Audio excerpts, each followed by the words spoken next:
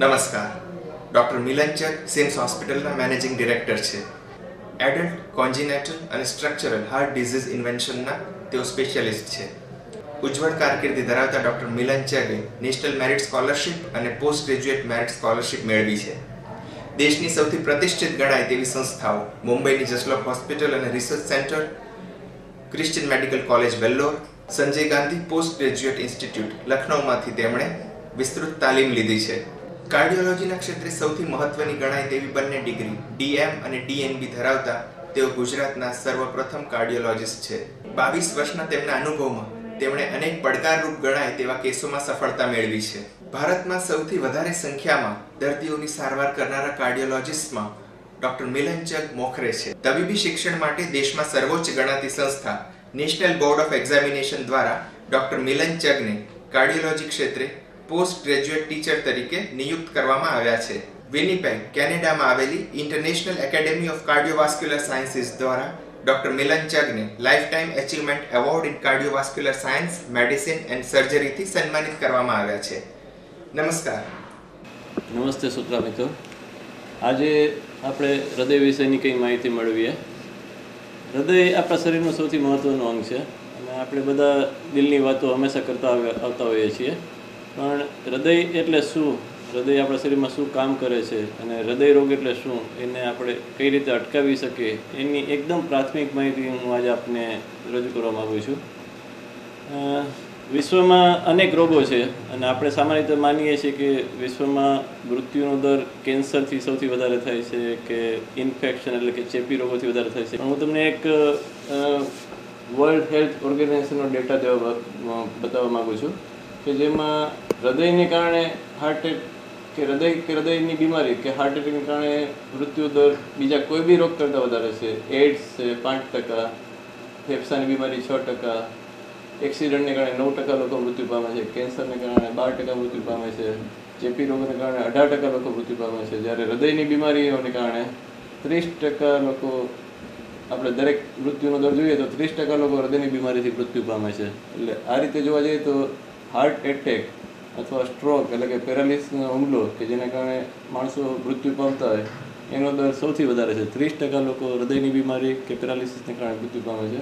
કારણ છે આપણી જીવનશૈલી ડાયાબિટીસ બ્લડ પ્રેશર કોલેસ્ટ્રોલ તણાવ સ્મોકિંગ ટોબેકોનો ઉપયોગ, આ બધા એના કારણો છે. તો આ બધી વસ્તુ શું છે અને એનાથી કઈ રીતે આપણે બચવું, એના વિશે આપણે જરા વધારે જાણવા માંગીએ. આ બધું અત્યારે આ જમાનામાં શું કામ ચિંતાજનક છે? તમને જાણીને નવાઈ લાગશે કે ઘણા લોકો એમ માનતા હોય કે મને કંઈ તકલીફ નથી અને જ્યારે તકલીફ થશે કે છાતીમાં દુખાવો થશે કે કંઈ બી સિમ્ટમ થશે, ત્યારે જોયું જશે ત્યારે ડૉક્ટર પાસે જવાની જરૂર નથી. ભલે મને આજે પચાસ વર્ષ છે, પણ મને કંઈ તકલીફ નથી એટલે હું કંઈ અત્યારે દવા કે ચેકઅપ કરાવવા માગતો નથી. આ એક આપણા સમાજમાં એક સામાન્ય માન્યતાઓ છે. પણ આ એક સ્લાઇડ જોવા જેવી છે કે જેમાં એવું કહેવામાં આવે છે કે માણસને જ્યારે એટેક આવે છે, ત્યારે સાઠ ટકા લોકો પુરુષોમાં અને ઓલમોસ્ટ પચાસ ટકા સ્ત્રીઓમાં હૃદયની બીમારીનું પહેલું લક્ષણ સીધો હાર્ટ એટેક હોય છે અથવા સીધું મૃત્યુ હોય છે. સડન કાર્ડિયક ડેથ જેને અમે કહીએ છીએ. એટલે કે સાઠ ટકા પુરુષો અને પચાસ ટકા સ્ત્રીઓને પહેલું લક્ષણ જ સીધો હાર્ટ એટેકથી શરૂઆત થાય છે. એને પહેલાં કોઈ એન્જાઇના થવો કે કોઈ ગભરામણ થવી કે કોઈ શ્વાસ ચડવો કે બીજા કોઈ લક્ષણો દેખાતા જ નથી. એટલે આપણે એવું માનતા હોય કે મને કંઈક તકલીફ થશે ત્યારે જોઈ જશે, તો એ વસ્તુ બી થોડા ઘણી વખત આપણે એમાં મોડા પડી જતા હોઈએ છીએ કારણ કે સડન ડેથ એટલે કે મૃત્યુ એ જ સીધું પહેલું લક્ષણ છે. ડૉક્ટર આપણે દર્દી ઘરેથી ડૉક્ટર પાસે પહોંચે એ પહેલાં જ એનું અવસાન થઈ જતું હોય છે. એટલે આને આપણે અતિશય ગંભીરતાથી લેવા જવું છે. હૃદયની, દુનિયાની કોઈ બી બીમારી એવી નથી કે જેમાં માણસો ઘરેથી ડૉક્ટર પાસે પહોંચે એ પહેલાં મૃત્યુ પામે. વિશ્વનો કોઈ બી રોગ એવો નથી કે જેમાં દર્દીને ડૉક્ટર પાસે જવા સુધીનો બી મોકો ન મળે. એક જ બીમારી છે હૃદયરોગનો હુમલો. એક જ બીમારી આવી છે કે જેમાં આપણને આટલો બધો મૃત્યુદર હાઈ છે અથવા વધારે પડતો છે. એટલે હૃદયરોગના હુમલાને સૌથી વધારે જીવલેણ કે ઘાતક ગણી શકાય માનવજાત માટે? ચોક્કસપણે ગણી શકાય. અને આપણને એમાં ઘણી વખત મેં તમને કહ્યું પ્રમાણે પચીસ ટકા ટાઈમમાં આપણને સમય બી નથી મળતો કે આપણે કંઈક ડૉક્ટર પાસે જઈને કંઈક સારવાર મેળવી શકીએ. અને એક વખત દર્દી હોસ્પિટલમાં જાય છે એ પછી બી લગભગ દસ ટકા દર્દીઓ ડૉક્ટરની અથવા અગાચ પ્રયત્ન છતાં બી બચી શકતા નથી. તો એ માટે કેટલા કેટલા સમયે વ્યક્તિએ પોતાના હૃદયનું ચેકઅપ કરાવતા રહેવું જોઈએ? એટલે જો તમે તમને જોખમી પરિબળ હોય જેમ કે તમારા વારસામાં બીમારી હોય તમારા માતા પિતાને હૃદયની બીમારી હોય તમને ડાયાબિટીસ હોય બ્લડ પ્રેશર હોય અથવા તમારું વજન વધારે હોય અથવા તમારું બેઠાડું જીવન હોય બીડી સિગરેટ તમાકુનું સેવન તમે કરતા હો અથવા તમે તણાવયુક્ત જીવન જીવતા હો, કે તમારી લાઈફસ્ટાઈલ એક એકદમ સ્ટ્રેસવાળી હોય, તો આ બધા પરિબળો એવા છે કે જેનાથી તમને હાર્ટની બીમારી આવવાની શક્યતા પૂરેપૂરી છે. તો એવા કેસમાં તમારે ચાલીસ વર્ષની ઉંમર થાય, એ પછીથી દર વર્ષે એક વખત હેલ્થ ચેકઅપ કરાવવું જોઈએ. જેમાં હેલ્થ ચેકઅપ એટલે ખાલી બ્લડ ટેસ્ટ કરાવવું એટલું જ નહીં. બ્લડ ટેસ્ટ ઉપરાંત તમારે તમારો ઇસીજી કરાવવો જોઈએ ટ્રેડમિલ ટેસ્ટ કરાવવી જોઈએ કે જેનાથી આપણને માહિતી મળે. ટ્રેડમિલની ચોક્કસ ઓલમોસ્ટ સિત્તેર ટકા જેટલી હોય છે કે જેનાથી આપણે હૃદયની બીમારી, આપણને હાર્ટ એટેક આવવાનું જોખમ છે કે નહીં, એનું સિત્તેર ટકા ચોકસાઈથી આપણે નિદાન કરી શકીએ છીએ. તો ટ્રેડમિલ ટેસ્ટ કરી શકીએ. ઇકોકોડિયોગ્રાફી કરાય કે જે હૃદયની સોનોગ્રાફી છે, જેનાથી હૃદયનું પમ્પિંગ કેવું છે, વાલનું કાર્ય કેવું છે, એની માહિતી મળે છે. અને જે બ્લડ ચેક કરીએ છીએ, એમાં આપણું કોલેસ્ટ્રોલ જોવાઈ જાય છે, આપણું ડાયાબિટીસ જોવાઈ જાય છે. અને આપણું જો વજન વધારે હોય તો વજન ઓછું કરવા માટે આપણે સંતુલિત આહાર ખાવો જોઈએ કે જેથી આપણું વજન આપણે ઘટાડી શકીએ. દર વર્ષે એક વખત આ છે કે ભારતમાં શું કામ આ બધું વધારે જોવા મળે છે? તમને જાણીને નવાઈ લાગશે કે વિશ્વના કોઈ બી દેશ કરતાં ભારતમાં આ રોગ થવાનું પ્રમાણ ચારથી દસ ગણું વધારે છે. આવું શું કામ છે?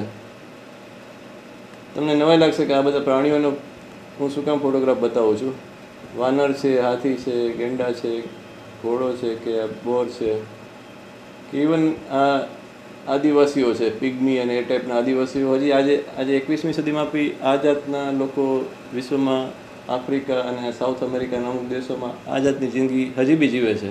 એ બધાનું એક જ કોમન ફેક્ટર છે કે એ લોકોનું કોલેસ્ટ્રોલ એકસો દસ જેટલું છે, એનું ટોટલ કોલેસ્ટ્રોલ એકસો દસથી નીચે છે, એનું લો ડેન્સિટી લાઇપોપ્રોટીન કે જે સૌથી ઘાતક ચરબીનું પ્રમાણ છે, એમનું લેવલ પચાસથી સાઠ મિલીગ્રામ પ્રતિ દેશી લેટર જેટલું છે. અને એ લોકોને કોઈ દિવસ હાર્ટ એટેક નથી આવતો એ લોકોને કદી પેરાલિસિસ નથી આવતો. તો માનવીમાં આ રોગ કઈ રીતે આવ્યો? આપણે જન્મીએ છીએ ત્યારે બી આપણું કોલેસ્ટ્રોલ આટલું જ છે. નાના બાળકનું તમે પહેલા દિવસે બ્લડનું સેમ્પલ લો તો એનું કોલેસ્ટ્રોલ આ આદિવાસીઓ જેટલું જ છે અથવા પેલા પ્રાણીઓ જેટલું જ છે. ઈશ્વરે આપણને આ રીતના જ બનાવેલા છે. અમદાવાદમાં કોઈ બી તમે જોઈન્ટ્સ ઉપર જાઓ તો લોકોમાં લાઈન હોય છે ડેઝર્ટ માટેની આઈસ્ક્રીમ માટેની. અને એનું પરિણામ છે આ આપણું વજન વધતું જાય છે. આપણે એક્સરસાઇઝ કરતા નથી, બેઠાડું જીવન જીવીએ છીએ અને એની ઉપર પાછું સ્ટ્રેસ વધતું જાય છે. આપણે મોટાઓમાં નહીં, બાળકોમાં બી પણ હવે મેદસ્વીતા એટલે કે જાડાપણાનું પ્રમાણ અતિશય વધતું જાય છે. ખાલી ભારતમાં નહીં, વિશ્વના દરેક દેશોમાં, અમેરિકામાં બી આ એક મોટો અત્યારે સામાજિક પ્રશ્ન છે કે વજન બાળકોનું વધતું જાય છે, જે આપણી ભવિષ્યની પેઢી જ હવે હૃદય અને પેરાલિસિસની બીમારીથી સફર થવાની છે, એનું આપણને અત્યારથી જ્ઞાન થઈ રહ્યું છે. આ બધી વસ્તુને અટકાવવું શું? કઈ રીતે? અને એ ઉપરાંત આપણી જીવનશૈલી. સખત સ્ટ્રેસફુલ લાઈફ આપણે જીવીએ છીએ અને એમાં એક નવું સ્ટ્રેસ ઉમેરાયું છે, આતંકવાદનું. આપણે ભયભીત જીવન જીવી રહ્યા છીએ. એવા એવા સમયમાં લાવી ચૂક્યા છીએ અને એમાં જો પણ આપણે સ્મોકિંગ કે ટોબેકોનો ઉપયોગ હોય, ચાલે, ચાહે તમે સ્મોકિંગ કરો અથવા ટોબેકો કે તમાકુનું સેવન કરો ગુટખાનો ઉપયોગ કરો તો આ બધા જે પરિબળો ભેગા થયા છે, એના કારણે આપણું જીવન બદલાઈ ગયું, આપણું શરીરનું બંધારણ બદલાઈ ગયું. આપણે બધા ભણી ચૂક્યા છીએ કે માણસ આજથી લગભગ પચીસ લાખ વર્ષ પહેલાં વાનર હતો, એમાંથી આપણે મનુષ્ય બન્યા. આટલું બનતા, વાનરમાંથી માનવ બનતા આપણને પચીસ લાખ વર્ષ થયા. પણ છેલ્લા પચાસ વર્ષમાં આપણું જીવન આવું થઈ ગયું છે. આપણે બેઠાડું જીવન જીવતા થઈ ગયા, આપણું વજન વધી ગયું આપણે એસો આરામની જિંદગી જીવીએ છીએ અને આપણો ખોરાક છે એ જંક ફૂડથી ભરેલો છે. ખૂબ જ પ્રમાણમાં ફેટ્સ છે, ચરબી છે લીલા શાકભાજીઓનો અભાવ છે, જેમાં સોલ્ટનો ઉપયોગ વધારે છે અને બધી ડીપ ફ્રાય વસ્તુ છે કે જેમાં ટ્રાન્સ ફેટ્સ આવે છે. આ બધી વસ્તુને કારણે શું થયું? કે આપણું કોલેસ્ટ્રોલ જે ભગવાને આપણે જન્મ્યા ત્યારે સો જેટલું આપેલું હતું અને જે એલડીએલ લો ડેન્સિટી લાઇકોપ્રોટીન જે આપણે જન્મ જન્મ, જન્મ્યા ત્યારે આપણને પચાસ જેટલું આપેલું હતું, એ વધીને ડબલ થઈ ગયું. અને આને કારણે એક રોગનો જન્મ થયો, જેને અમે મેડિકલ ભાષામાં એથરોસ્લોરોસિસ કહીએ છીએ. જેને સાદી ભાષામાં એમ કહીએ કે fat deposition in the blood vessels એટલે કે શરીરની દરેક લોહીની ધમનીઓ છે, એમાં કોલેસ્ટ્રોલનું જમાવટ થવાનું અથવા ચરબીનું જમાવટ થવાનું.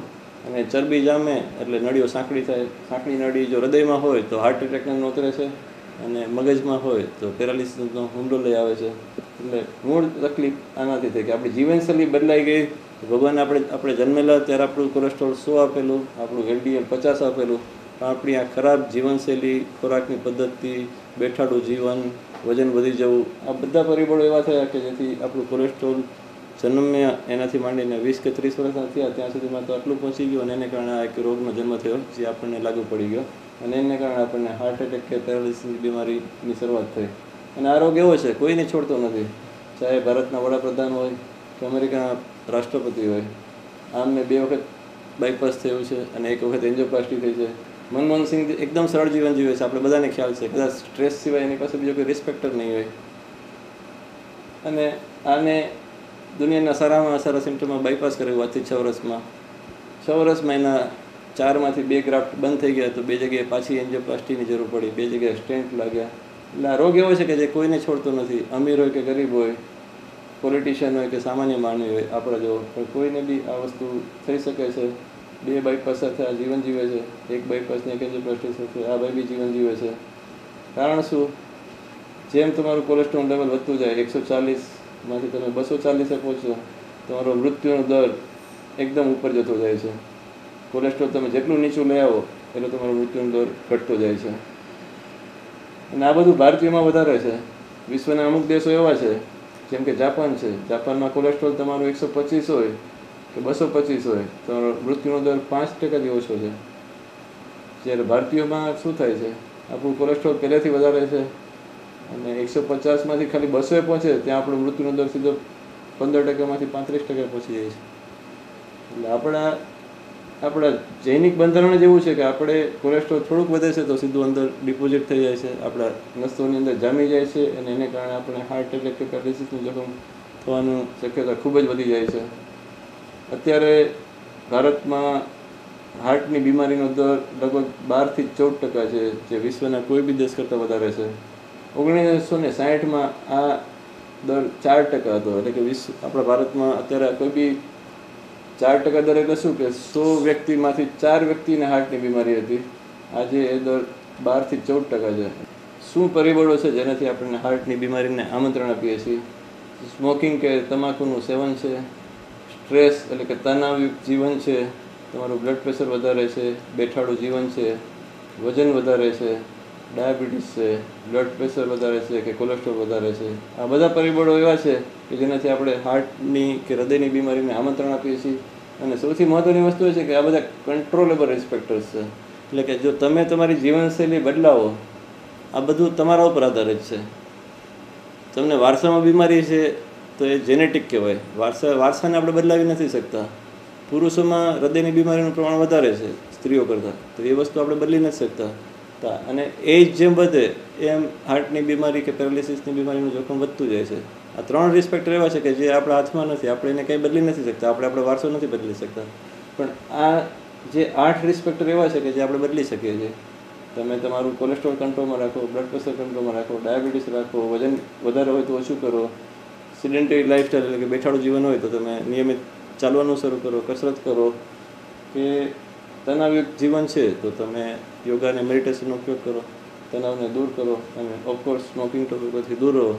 તો તમારું જોખમ સાઠથી સિત્તેર ટકા આટલા ફેક્ટર્સને મોડિફાય કરવાથી જ ઘટી જાય છે. તો હૃદય શું છે? હૃદય એક પંપ છે. આપણા આખા જીવનકાળ દરમિયાન હૃદય લગભગ વીસ કરોડ લીટર જેટલું બ્લડ આખા શરીરમાં ફેરવે છે આપણા જીવનકાળ દરમિયાન. વીસ કરોડ ડોલર. તો વિચાર કરો કે એક જ અંગ એવું છે કે જ્યારે આપણે જાગતા હોઈએ કે સૂતા હોય એક જ અંગ એવું છે કે જે સતત પ્રવૃત્તિમાં રહે છે. અને જીવનકાળ દરમિયાન વીસ વીસ કરોડ લીટર જેટલું બ્લડ બહાર ફેંકે છે. અશુદ્ધ લોહી આખા શરીરનું જમણી બાજુ આવે છે, એ ફેફસામાં શુદ્ધ થવા જાય છે. શુદ્ધ થઈને ડાબી બાજુ શુદ્ધ લોહી આવે છે, જે હૃદય પંપ કરીને આખા શરીરમાં મોકલે છે. અને હૃદય પોતે પંપ કરીને આખા શરીરમાં લોહી મોકલે છે, પણ હૃદયને પોતાને કામ કરવા માટે લોહી જોઈએ છે. અને લોહી પોચાતી ત્રણ નળીઓ છે, એ આ હૃદયની સપાટી પર આવેલી હોય છે, જે આ જગ્યાએ છે. આ હૃદય છે તો એની સપાટી પર આ બધી નળીઓ છે જે હૃદયને પોતાને લોહી પહોંચાડે છે અને એને કારણે હૃદયને પોતાને ખોરાક મળે છે કે જેથી હૃદય પંપ કરીને આખા શરીરમાં લોહી પહોંચાડે છે. તો એ નળીઓ આ કહેવાય છે જેને અમે મેડિકલ ભાષામાં કોરોની આર્ટરીસ કહેવાય છે. આ નળીઓમાં ક્યાંક સાંકળાશ આવે એટલે એન્જાઇનાની શરૂઆત થાય અને સાંકડી નળી જો બંધ થાય તો હાર્ટ એટેક આવે છે. હાર્ટ એટેક કઈ કઈ રીતે આવે? એ જોઈએ. આ એક ચિત્ર છે જેમાં હૃદય અત્યારે ધબકી રહ્યું છે. આ હૃદયને લોહી પહોંચાડતી ધમનીઓ છે, જેમાં ધીમે ધીમે સમયની સાથે કોલેસ્ટ્રોલ જામતું જાય છે. આ આપણે કોલેસ્ટ્રોલ જામેલું દેખાય છે. એમાં આ રક્તકણો જઈ રહ્યા છે અને એક સમય એવો આવે છે કે ક્યારેક આ કોલેસ્ટ્રોલના લેયરમાં તિરાડ પડી જાય છે અને તિરાડ પડે તો ત્યાં આપણા રક્તકણો ચોંટી જાય છે અને નળી ટોટલી લોહીનો ગઠ્ઠો જમવાથી બંધ થઈ જાય છે અને આ ભાગમાં લોહી પહોંચતું બંધ થઈ જાય છે. જેને આપણે સાદી ભાષામાં હાર્ટ એટેક કહીએ છીએ. આ એક બીજું ચિત્ર છે કે જેમાં હૃદયની ધમની આપણને ક્રોસ સેક્શનમાં દેખાય છે. એટલે ધમ, આ પોલાણ છે જેમાંથી બ્લડ જતું હોય. હાર્ટ એટેક થવાનું કારણ શું છે? તો કે કોલેસ્ટ્રોલની જમાવટ છે. ચાહે જમાવટને કારણે વીસ ટકાનો અવરોધ હોય, ત્રીસ ટકાનો હોય કે પચાસ ટકાનો અવરોધ હોય, પણ એક સમયે આ કોલેસ્ટ્રોલના લેયરની જે ઉપરની દિવાલ છે, જેમ જ્વાળામુખી ફાટે છે, એમાં દિવાલ બી ફાટે છે. એમાં તિરાડ પડે છે અને તિરાડ પડે એટલે કોલેસ્ટ્રોલ લોહીના સંપર્કમાં આવે છે અને જેવું લોહીના સંપર્કમાં આવે એટલે ત્યાં લોહીનો ગઠ્ઠો જામે છે અને જેથી નળીનું પોલાણ સંપૂર્ણપણે બંધ થઈ જાય છે અને એ ભાગમાં હાર્ટ એટેક આવે છે. અને જેમ આપણે પહેલાં જાણ્યું કે કોઈ બી હાર્ટ એટેક આવે છે, તો પચીસ ટકા લોકો પોતાના ઘરેથી ડૉક્ટર સુધી પહોંચી શકતા નથી અને હૃદય બંધ પડી જાય છે. લોકોની એક એવી માન્યતા છે કે એન્જાઇના એટલે કે હૃદય રોગનો દુખાવો એ હંમેશા ડાબી બાજુ જ થાય અથવા ડાબા હાથમાં જ થાય. પણ એક અત્યંત ભૂલ ભરેલી માન્યતાઓ છે. ઘણા પેશન્ટને એ જ દુખાવો જમણી બાજુ બી થાય, બંને ખભામાં બી થઈ શકે, છાતીના વચ્ચેના ભાગમાં બી થઈ શકે ઇવન જડબામાં બી થઈ શકે. ઘણા લોકો, અમે લોકો અમારી પાસે દર્દીઓ આવતા હોય છે કે જે ડેન્ટલ સર્જન પાસે પહોંચી જતા હોય કે દાંત દુખે છે, જડબું દુખે છે, ઓર્થોપેડિક પાસે જઈએ તો એ દુખાવો જડબામાં બી આવી શકે. ખાલી વચ્ચેના ભાગમાં આવી જાય, સેન્ટરમાં. એટલે ઘણાને એવું લાગે કે મને એસિડિટી છે. તો એસિડિટી નથી હોતી, એ હૃદયનો દુખાવો હોય છે. અને ક્યારેક પેટમાં થાય, ક્યારેક પાછળ વાંસાના ભાગમાં થાય. તો હૃદયનો દુખાવો આ બધી જગ્યાએ આવી શકે. આનું એક લક્ષણ ખાસિયત શું છે કે હૃદયનો દુખાવો, જેને અમે ગુજરાત મેડિકલ ભાષામાં એન્જાઇના કહીએ છીએ, એ એન્જાઇના હંમેશા ચાલતી વખતે થાય. એ સાંકડા મહિના કે વર્ષોના સમય દરમિયાન વધતી જાય છે. અને એ સાંકળાશને કારણે દર્દી જ્યારે ચાલવા જાય છે અથવા સીડી ચડે છે અથવા કંઈ શ્રમવાળું કામ કરે છે, ત્યારે આ જાતનો એને દુખાવો મહેસૂસ થાય છે અને જેવો એ ઊભો રહી જાય, તો બે કે પાંચ મિનિટમાં એ દુખાવો બંધ થઈ જાય છે. મેં તમને કહ્યું એ પ્રમાણે દુખાવો છાતીના વચ્ચેના ભાગમાં બી થાય, ડાબી બાજુ બી થાય, ડાબા હાથમાં થાય, જમણા હાથમાં થાય, ખભામાં થાય, વાંસામાં થાય કે વચ્ચેના ભાગમાં થાય કે ઇવન પેટમાં બી થઈ શકે. આ દુખાવો ગમે ત્યાં આવે, પણ ચાલતી વખતે થાય, જેવા ઊભા રહી જાઓ તો બંધ થઈ જાય. સામે ત્યાં દુખાવો ક્ષણિક કે એક બે સેકન્ડ માટે બી નથી થતો અને અડધી કલાક માટે બી નથી થતો. સામે તે બેથી પાંચ મિનિટ માટે થાય અને જેવા ઊભા રહી જાઓ, આરામ કરો, તો દુખાવો બંધ થઈ જાય. અને સામે તો દર્દીનું વર્ણન એવું હોય કે એને આમ દબાણ જેવું કે ભાર જેવું લાગતું હોય છે, અથવા બળતરા જેવું બી લાગી શકે. એટલે ઘણી વખત આ ગેસ કે એસિડિટીમાં આપણે ગુજરાતીઓ ખાસ કરીને આને સમજતા હોય કે મને એસિડિટી કે ગેસનો દુખાવો હતો તો એ ગેસ નથી હોતો એ હાર્ટની તકલીફ બી હોઈ શકે તમે તમારા ડૉક્ટર પાસે આના માટે ચેકઅપ કરાવવું જોઈએ. એટલે આમાંના કોઈ પણ લક્ષણો દેખાય તો એ કદાચ હાર્ટ એટેક હાર્ટ એટેક લક્ષણ હોઈ શકે. જેને આપણે મેડિકલ ભાષામાં એન્જાઇના કહીએ. એન્જાઇના જ્યારે લાંબો ચાલે વીસ ત્રીસ મિનિટથી વધારે ચાલે તો એ ખરેખર હાર્ટ એટેકની શરૂઆત બી હોઈ શકે તો એવા કેસમાં તમારે બને એટલું નજીકની હોસ્પિટલમાં પહોંચવું જોઈએ. હાઉ ટુ રિકોગ્નાઇઝ અને હાઉ ટુ પ્રિવેન્ટ તો આપણે હૃદયની બીમારીને કઈ રીતે નિદાન કરી શકીએ અને કઈ રીતે એને અટકાવી શકીએ? તો મેં જે તમને કહ્યું એ રીતે આપણે આપણા ડૉક્ટર પાસે આપણું બ્લડ પ્રેશર ચેક કરાવવું જોઈએ. બ્લડ પ્રેશર નોર્મલી લોકોની માન્યતા છે કે જેમ ઉંમર વધે, એમ ધારો કે અમારી પાસે દર્દીઓ આવતા હોય કે મારી ઉંમર સિત્તેર વર્ષની છે એટલે મારું બ્લડ પ્રેશર એકસો સિત્તેર હોય, ઉંમર વધતા સો, એટલું બ્લડ પ્રેશર નોર્મલ કહેવાય.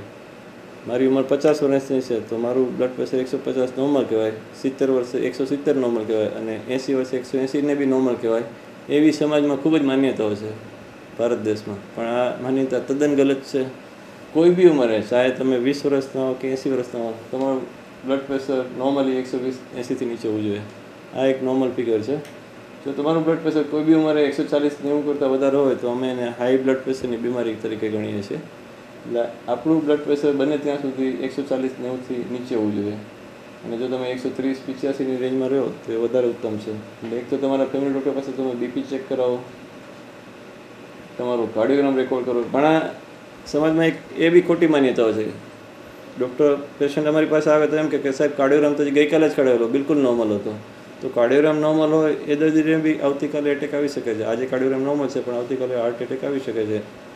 તો કાળીરામ નોર્મલ હોય એટલે આપણે આપણને અંદરની શરીરની અંદર કોઈ તકલીફ નથી એવું ન માનવું. કાર્ડિયોગ્રામમાં ખરાબી તો ત્યારે જ આવે છે કે જ્યારે તમને હાર્ટ એટેક આવી જાય છે, તો એનો એક ઘા તમને કાર્ડિયોગ્રામમાં દેખાય છે. અથવા તમારું હૃદય પોળું થઈ ગયું છે કે હૃદયના વાલની અંદર કંઈ તકલીફ છે જેને કારણે હૃદયના ખાનાઓ પોળા થઈ ગયા છે, તો કાર્ડિયોગ્રામમાં કંઈ ખરાબી આવવાની છે. બાકી હાર્ટ એટેક આવવાનો હોય એ પહેલાંનો કાર્ડિયોગ્રામ ઘણી વખત નોર્મલ હોય છે. તો એ જાણવું કઈ રીતે? મને હાર્ટ એટેક આવવાનું જોખમ છે કે નહીં? મારે જાણવું કેવું કઈ રીતે? તેની સૌથી પ્રાથમિક ટેસ્ટ ટ્રેડમિલ ટેસ્ટ છે ટીએમટી આપણે હેલ્થ ક્લબમાં પટ્ટા ઉપર દોડતા હોઈએ છીએ. એ જ વસ્તુ અહીંયા છે. એ જ ટાઈપની ટ્રેડમિલ છે. પણ આપણે હેલ્થ ક્લબમાં જ્યારે દોડતા હોઈએ છીએ, ત્યારે આપણે કોઈ કાર્ડિયોગ્રામ મોનિટર નથી કરતું, આપણું બ્લડ પ્રેશર કોઈ મોનિટર નથી કરતું. જ્યારે અહીંયા ડૉક્ટર સાથે ઊભા છે મોનિટર પર તમારું કાર્ડિયોગ્રામ દરેક સેકન્ડે દોડતી વખતે મોનિટર થાય છે. અને એમાં જ્યારે તમે ત્રણ ત્રણ મિનિટના સ્ટેપ ઉપર ચાલો છો, ત્યારે તમારા કાર્ડિયોગ્રામમાં કંઈક ખરાબી થાય છે. આપણે જ્યારે ચાલીએ છીએ, ઝડપથી દોડીએ છીએ, ત્યારે આપણે હૃદયને વધારે કામ કરવું પડે છે. અને જો તમારી હૃદયની લોહીની નળીઓ જો સાંકડી હોય, તો હૃદયને જોયેલો લોહીનો પુરવઠો નહીં મળે, તો એ વખતે દર્દીને એન્જાઇના મહેસૂસ થશે, એટલે કે અમુક લક્ષણો દેખાશે. અને વધારે મહત્ત્વનું એ છે કે લક્ષણ દેખાય એ પહેલાં કાર્ડિયોગ્રામ ખરાબ થઈ જશે. એટલે હૃદયની લોહી ઓછું પહોંચે તો તરત કાર્ડિયોગ્રામમાં ખરાબી આવશે. એટલે રેસ્ટિંગ કાર્ડિયોગ્રામ જે એમને એમ તમને સૂતા સૂતા કાર્ડિયોગ્રામ પાડ્યો છે, એ નોર્મલ છે. પણ જ્યારે તમે ચાલો છો, ત્યારે કાર્ડિયોગ્રામ ખરાબ થાય છે. તો એને મેં એમ કહે કે તમારી ટીએમટી પોઝિટિવ છે, તમારા નળીઓમાં કંઈક બ્લોક છે અને તમારે આગળ તપાસ કરવી જોઈએ, જેને અમે એન્જિયોગ્રાફી કહીએ છીએ. ઇકોકાર્ડિયોગ્રાફી એટલે કે હૃદયની સોનોગ્રાફી છે. એનાથી હૃદયની સાઇઝ કેટલી છે, ખ્યાલ આવે? હૃદયના ચારખાના જોઈ શકાય છે. એના ચાર વાલ જોઈ શકાય છે અને હૃદયની કાર્યક્ષમતા કેવી છે, હૃદયનું પમ્પિંગ કેવું છે, એની માહિતી બી મળે છે. કોઈ જન્મજાત બીમારી હોય કે જેમાં હૃદયના ડાબી અને જમણી બાજુને જુદા પડતા પડદામાં કંઈ છેદ હોય, કાણું હોય, વાલ સાંકડો હોય, નસ સાંકડી હોય, તો એ બધી માહિતી ઇકોકોડિયોગ્રાફીથી એટલે કે હૃદયની સોનોગ્રાફીથી આપણને બહારથી જ મળી જાય છે. સો આ એક, આ પણ એક ખૂબ જ ઉપયોગી ટેસ્ટ છે. એન્જિયોગ્રાફી, અમે અમારી ભાષામાં એમ કહીએ કે આ એક ફાઇનલ ટેસ્ટ છે કે જેનાથી હૃદયની બધી નળીઓને તમે બારીકાઈથી જોઈ શકો છો અને નળીમાં ખરેખર બ્લોક છે કે નહીં એ માહિતી મળે છે, બ્લોક છે, તો કેટલા ટકા બ્લોક છે એ બી માહિતી મળે છે. એ જાણવાનું એન્જિયોગ્રાફી કઈ રીતે થાય છે? એન્જિયોગ્રાફી માટે બી લોકોને ખૂબ જ ગેરમાન્યતાઓ છે. એન્જિયોગ્રાફી કરવામાં કોઈ કાપકૂપ થતી નથી, કોઈ ટાંકા નથી આવતા, કોઈ દુખાવો નથી હોતો. પહેલાંના જમાનામાં પગમાંથી એન્જિયોગ્રાફી કરવામાં આવતી. અત્યારે નવ્વાણું ટકા કેસમાં અમે લોકો હાથ એટલે કે કાંડાની નસમાંથી એન્જિયોગ્રાફી કરીએ છીએ. એક નાનું ઇન્જેક્શન લાગે બ્લડનું સેમ્પલ લેવામાં જે સોય લાગે, એના કરતાં બી નાની સોય હોય. એટલે એ ભાગ ખોટો પડી જાય અને ત્યાંથી જ પછી એ નસમાંથી એક બોલપેન રિફિલ કરતાં બી પાતળી નળી છે કે હૃદય સુધી પહોંચે. સામે સ્ક્રીન ઉપર આપણી નળી ક્યાં જઈ રહી છે દેખાય. અને જ્યારે હૃદય સુધી પહોંચે આ રીતે, ત્યારે નળી કોરોની આર્ટરીસની અંદર અમે ડાય એટલે કે દવાનું ઇન્જેક્શન આપો, એટલે આ બધી નળીઓ આપણને આ રીતે દેખાય. નોર્મલી આ બધી નળીઓ પાણીની પાઇપલાઇન જેવી હોય છે, એક સરખી પોળી હોય છે અને હૃદયની જે ડાબી અને જમણી બે નળીઓ આપણે આ રીતે જોઈ શકીએ છીએ. જો નળીમાં ક્યાંક કોલેસ્ટ્રોલ જામી ગયું હોય, તો નળી આ રીતે સાંકડી દેખાય છે. આ સાંકળાશ કેટલી છે એ મહત્ત્વનું છે. એન્જિયોગ્રાફીમાં અમે આનું મેજરમેન્ટ લેતા હોઈએ છીએ. કોઈ બી સાંકળાશ પચાસ ટકાથી ઓછી હોય, ત્યાં સુધી દર્દીને કોઈ તકલીફ જ નથી થતી. દર્દીને બહારથી ખ્યાલ બી નહીં આવે કે આમાં કંઈ તકલીફ છે. પચાસ ટકાથી ઉપર સાંકળાશ હોય, તો અંદર એન્જાઇનાની ચાલતી વખતે કે શ્રમ કરતી વખતે દર્દીને એન્જાઇના મહેસૂસ થાય છે. અને સાંકળા સાઠ સિત્તેર ટકાથી ઉપર હોય તો અમે કંઈક આ સાંકળાશ મહત્ત્વની છે. અને જો એ સાંકળાશ દવા લેવા છતાં બી દર્દીની તકલીફ રહેતી હોય, તો પછી આ સાંકળાશને અમે લોકો એન્જિયોપ્લાસ્ટી કરીને દૂર કરીએ છીએ. અને એન્જિયોપ્લાસ્ટી થાય એવું ન હોય, તો બાયપાસ કરીને નવી નળી બેસાડીએ છીએ. એન્જિયોપ્લાસ્ટી એટલે શું એ જરા સમજીએ કે ધારો કે આ કોઈ નળી છે, નસ છે, હૃદયની કોરોની આર્ટરીસ છે, જેમાં કોલેસ્ટ્રોલ જમાથી નળી સાંકળી થઈ છે તો કોઈ બી કાપકૂપ કે ટાંકા લીધા વિના એ જ કાંડાની નસમાંથી અમે એક વાયર પસાર કરીએ છીએ. એની ઉપર એક બલૂન જાય છે. બલૂન ફૂલાવીએ છીએ તો એ કોલેસ્ટ્રોલનું જે લેયર છે એ દૂર થાય છે, નળી પોળી થાય છે. આજથી ત્રીસ વર્ષ પહેલાં ખાલી એન્જિયોપ્લાસ્ટી, બલૂન એન્જિયોપ્લાસ્ટી શોધાયેલી અને આટલું કરીને લોકો અમે એને છોડી દેતા. પણ એને એટલું કરવાથી પચીસથી ત્રીસ ટકા કેસમાં છ મહિનામાં નળી ફરીથી સાંકળી હતી એટલે એ શક્યતા ઓછી કરવા માટે આ સ્ટેન્ટની શોધ થઈ.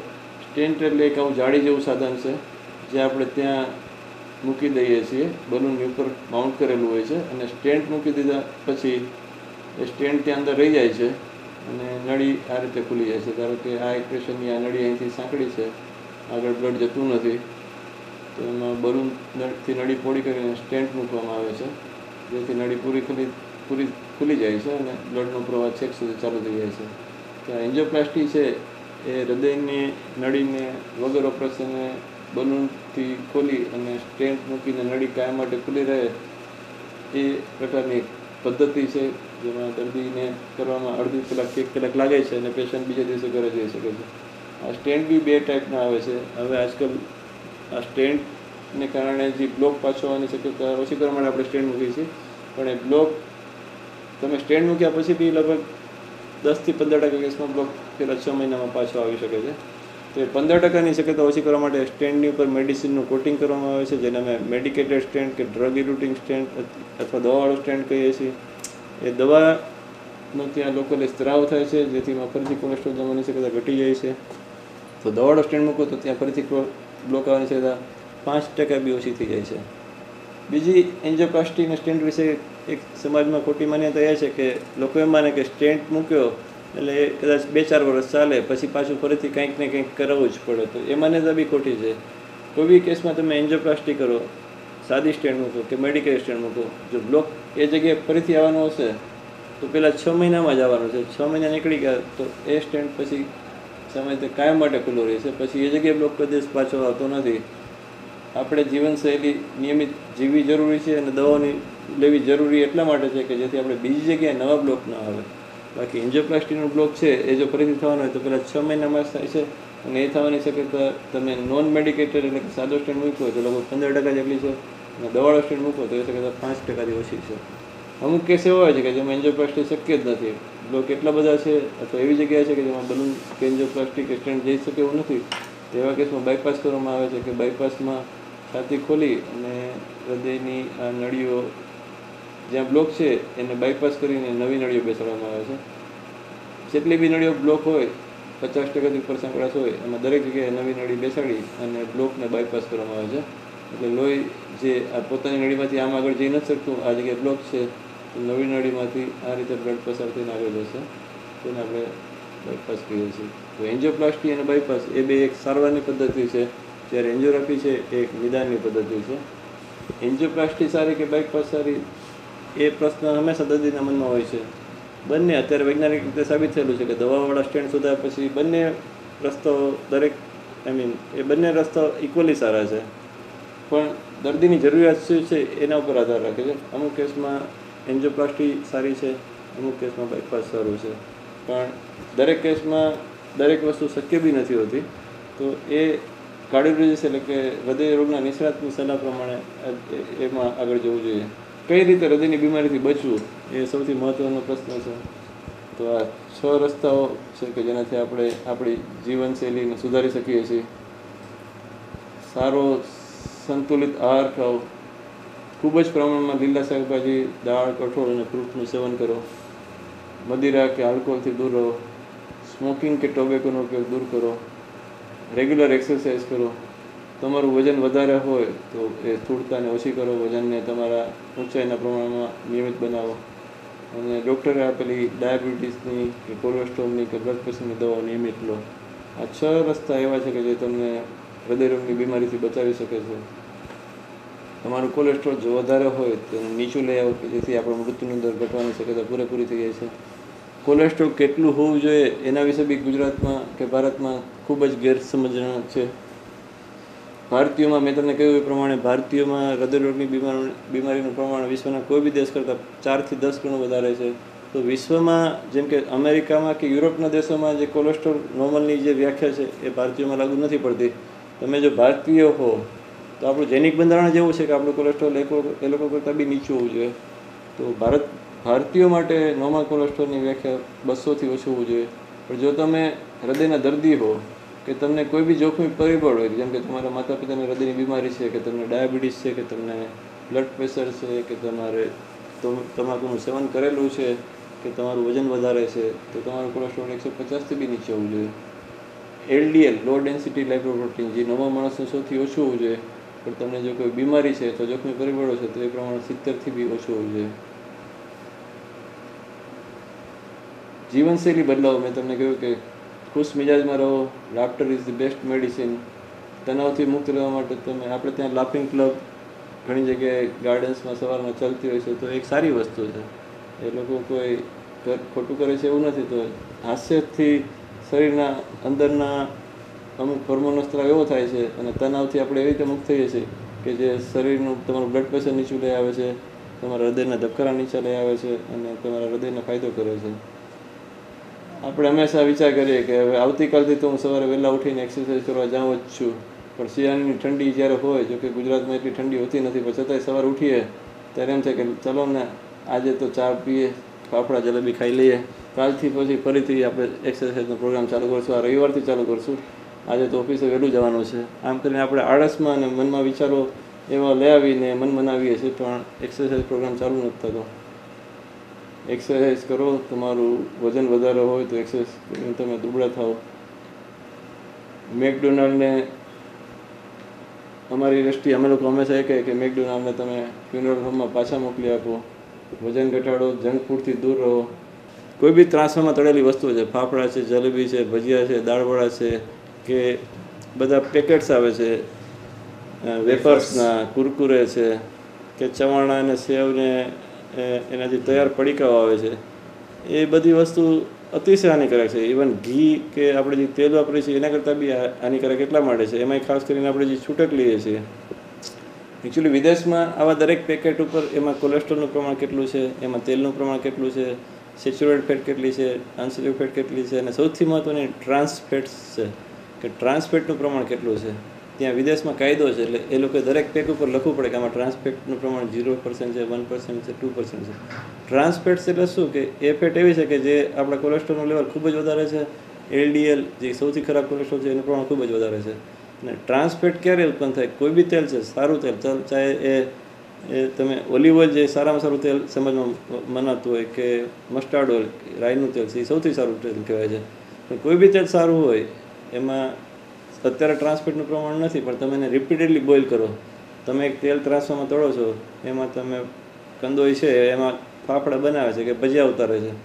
તો એ કોઈ દિવસે તેલને ફેંકતો નથી. એ તેલ થોડું ઓછું થયું તો નવું તેલમાં ઉમેરશે, પણ એ તેલ રિપીટેડલી બોઇલ થયા જ રાખે છે. અને જ્યારે તમે તેલને રિપીટેડલી આ રીતે બોઇલ કરો ગરમ કરો, તો એ તેલમાં ટ્રાન્સફેટનું પ્રમાણ વધતું જાય છે. અને ટ્રાન્સફેટ તમે જે કંઈ વસ્તુ તળો છો, એમાં અંદર શોષાઈ જાય છે અને એ ટ્રાન્સપેટ આપણા શરીરમાં જાય છે.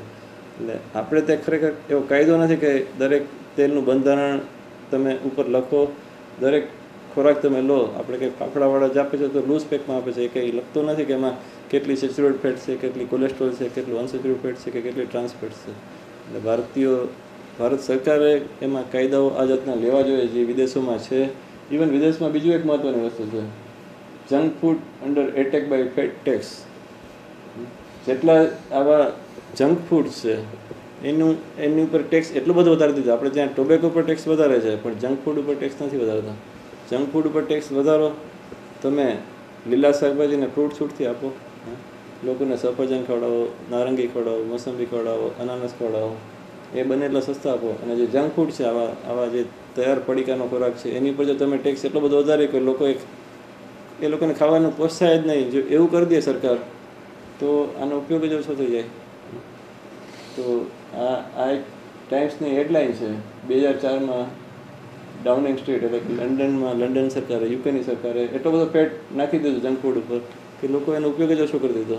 કે જેથી ફેટનો વપરાશ દેશમાં ઘટી જાય. સ્મોકિંગ અને ટોબેકો છે એ આપઘાત કરવા સમાન છે. બને એટલું એનાથી દૂર રહેવું જોઈએ. એક મેડિકલ તારણ એવું બી છે કે જો તમે લાઈફસ્ટાઈલ ચેન્જ કરો, એટલે કે જે આપણે છેલ્લા પંદર મિનિટથી વાત કરી રહ્યા છીએ કે તમે તમારી જીવનશૈલી બદલાવો, તો હાર્ટ ડિસીઝને કારણે મૃત્યુનું પ્રમાણ સાઠ ટકાથી વધારે ઘટી જાય છે. એટલે તમારે કોઈ દવાની બી જરૂર નથી. તમે ખાલી તમારું તણાવથી મુક્ત રહો, તમારું વજન વધારે છે તો એને એક્સરસાઇઝ કરીને ઘટાડો બેઠાડો જીવનથી દૂર રહો. ખોરાકમાં ઘી, તેલ અને ફરસાણનો ઉપયોગ ઓછો કરી નાખો. લીલા શાકભાજી, દાળ, કઠોળ, ફ્રૂટનું પ્રમાણ વધારી દો. તણાવથી દૂર રહેવા માટે યોગા મેડિટેશન કરો. અને આ રીતે તમે જો જીવનશૈલી બદલાવી નાખો, તો તમારું હાર્ટ કે હૃદયની બીમારીનું જોખમ તમે સાઠ ટકા ઘટાડી શકો છો. આના માટે કોઈ ડૉક્ટર પાસે જવાની બી જરૂર નથી. યોગા મેડિટેશન ઇવન આ ટાઈમ મેગેઝિનનું હેડલાઇન છે કે યોગા મેડિટેશન જે આપણા ઋષિ મુનિઓ મારા જો વર્ષોથી કહેલું છે, ભારત દેશમાં કદાચ યોગાનું એક, આપણે ત્યાંથી યોગનો જન્મ થયો છે. તો આ યોગ અને મેડિટેશન છે, એ આપણે ભૂલી ગયા છીએ, પણ વિદેશમાં આવાના આના ક્લાસીસ ચાલુ થયા છે અને આપણા કરતાં એ લોકો યોગ અને મેડિટેશનનો ઉપયોગ વધારે કરે છે. અને લોકો એના માટે પૈસા ખર્ચીને બી કરે છે, જ્યારે આપણે આ વસ્તુને ભૂલી રહ્યા છીએ. તો આ એક ખૂબ જ વસ્તુ હૃદય માટે ઉપયોગી છે. એનાથી તમે હૃદયની બીમારીનું જોખમ ઓછું કરો છો. તો આનો બી એક લાભ લેવો જોઈએ.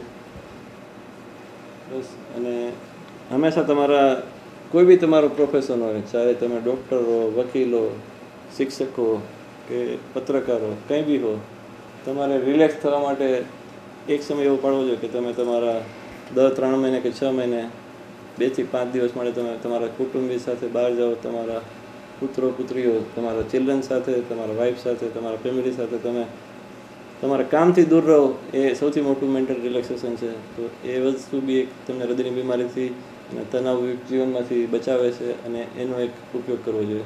દર ત્રણથી છ મહિને તમે બેથી ચાર દિવસનો બ્રેક લો. તમારું એક મન છે એક આનંદમય થઈ જશે અને તણાવમાંથી તમે દૂર થઈ જશો. તો મિત્રો આજે આપણે આપણા હૃદય વિશેની તેની સાચવણ કરવા માટેની ઘણી ઉપયોગી માહિતી ડૉક્ટર મિલન ચગ પાસેથી મેળવી. વિસ્તૃત માહિતી માટે આપ સિમ્સ હોસ્પિટલનો સંપર્ક કરી શકો છો. Care institute of medical sciences Shukan mall પાસે off science city road Sola Ahmedabad 380060 phone numbers 079 2771 2771 2771 2772 2771 2773 2771 2774 અને 2771 2775